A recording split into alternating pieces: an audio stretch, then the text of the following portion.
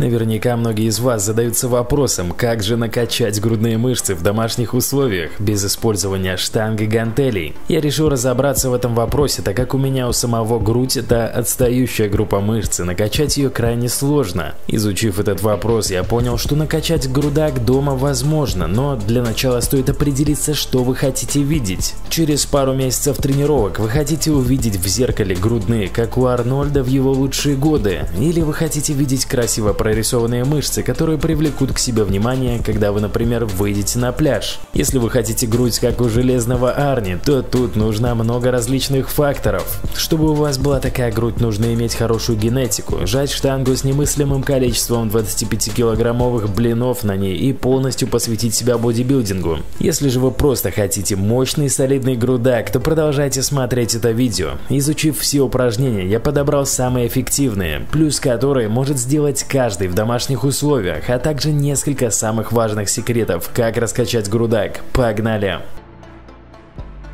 Для начала очень важно понимать, как устроены грудные мышцы. Это нужно для понимания, как правильно делать упражнения. Мышцы груди являются одними из самых крупных мышц нашего организма. На самом деле их несколько, но для культуристов наибольший интерес представляют две из них – большая и малая грудные мышцы. Большая грудная мышца имеет форму веера и вплетается в плечевые мышцы. Она рабочая и участвует во многих упражнениях. Малая грудная мышца располагается под большой и является скорее стабилизирующий и работает реже. Также грудные мышцы условно делят на три уровня – верхний, средний и нижний. И если средний задействован при любых нагрузках, то верхние и нижние уровни можно лучше развить только специальными упражнениями для груди, о которых мы поговорим чуть позже. Также перед тем, как мы начнем разбор самых эффективных упражнений, пару слов о том, как правильно выстроить стратегию тренировок. В первую очередь, нужно определиться с количеством занятий в неделю. Многие новички ошибочно считают, что ежедневные занятия могут привести к желаемому результату быстрее за минимальное количество времени. Но особенности грудных мышц таковы, что при активной работе мышцы получают множественные микротравмы, за счет чего происходит рост. Но после каждого занятия необходимо время для их полного восстановления. Поэтому на начальном этапе количество тренировок не должно превышать 2-3 занятий в неделю. За это время мускулы успевают восстановиться. При такой программе первые результаты будут заметны уже через месяц. Также следует придерживаться определенной дозировки в количестве подходов для упражнений на развитие мышц груди. В зависимости от индивидуальной физической подготовки их количество должно составлять от 4 до 8 подходов за тренировку. Для тех, кто только начинает заниматься, наилучшим вариантом будет одно-два упражнений по 2-3 подхода. И помните, что излишняя перегрузка грудных мышц не дает дает хороших результатов. Для достижения нужного результата составьте программу занятий и постарайтесь придерживаться ее на регулярной основе. Теперь непосредственно к самим упражнениям. Самым простым и универсальным упражнением, доступным для любого начинающего заниматься развитием своего тела, являются отжимания. Может быть оно и является самым простым и известным, но я думаю, что о нем следует рассказать. Но чуть позже мы уже разберем чуть более изощренные упражнения. Если рассмотреть внимательнее сам механизм процесса отжиманий, то мы увидим, что это своеобразная вариация жима лежа. К тому же отжимание является оптимальным общеразвивающим упражнением. При отжиманиях оказываются задействованы и мышцы рук, что обеспечивает равномерное развитие мускулатуры верхней части тела. К тому же идет активное воздействие на мышцы пресса, что благотворно влияет на весь организм в целом. В меньшей степени задействованы мышцы ног, но и они получают небольшую долю нагрузки. Как и у многих физических упражнений, отжиманий существуют различные вариации, используя которые вы будете нагружать различные группы грудных мышц. Отжимания с остановкой. Для этого упражнения нам понадобится только пол. Это такие же простые отжимания, но с одним нюансом. Опустившись вниз наполовину, остановитесь и задержитесь в этом моменте на 2-3 секунды. Затем опуститесь вниз до конца и в этом положении снова задержитесь на 2-3 секунды. Сделайте 4 подхода по 10 повторений. Узкие отжимания. Еще одним суперэффективным упражнением являются узкие отжимания.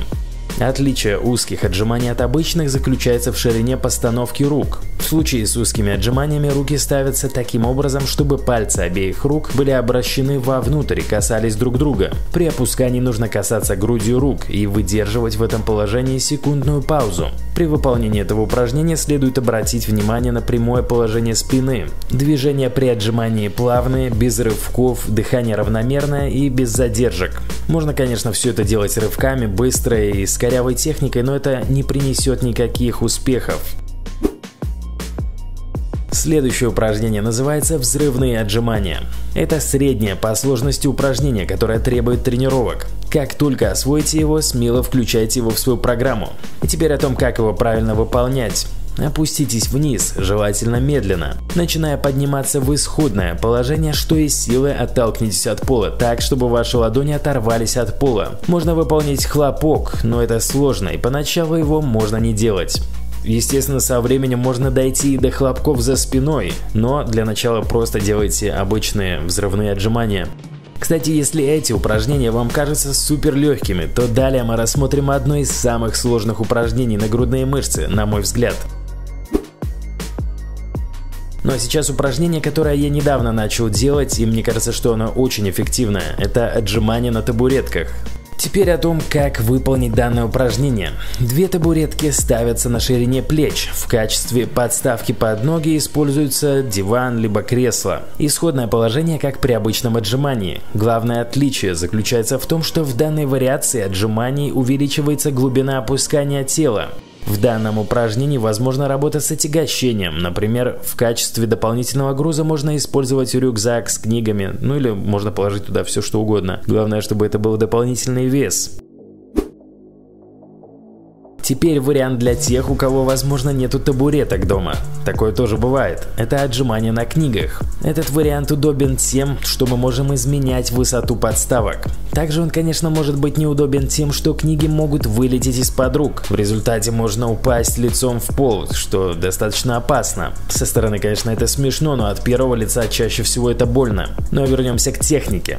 Ставим пару книг, упираемся в них руками. Ноги прямые и стоят на расстоянии 10-15 см друг от друга. Ладони ориентированы пальцами вперед и вовнутрь. Руки находятся на ширине плеч. Опускаемся максимально низко. Для этого нам и нужны книги, чтобы не упираться лицом в пол, когда мы можем опуститься еще ниже. В нижней точке можно остановиться и замереть на 2-3 секунды для максимальной нагрузки на грудь.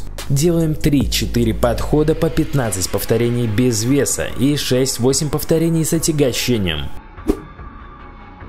отжимания с наклоном вперед. Смысл этого упражнения заключен в том, чтобы ноги были расположены выше уровня головы. Нужно поставить ноги на какое-либо возвышение и выполнять обычные отжимания. В этом упражнении будет задействован верхний отдел груди, а также основные группы мышц рук.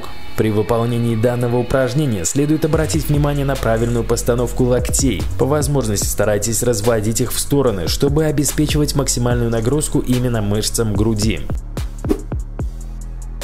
отжимания с усилием на одну руку.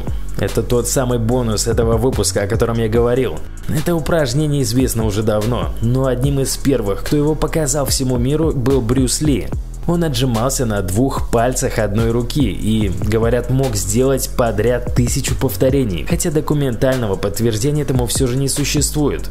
В отжиманиях на одной руке, помимо прямой нагрузки на руку, немалую роль играет статическое напряжение, которое идет на тело из-за необходимости поддерживать равновесие. Ведь если ступни сомкнуты, то вы останетесь на двух точках опоры – ступни в одной и рука в другой. Для облегчения статической нагрузки многие спортсмены разводят ступни на ширину плеч друг от друга. Таким образом, это упражнение выполнить гораздо проще.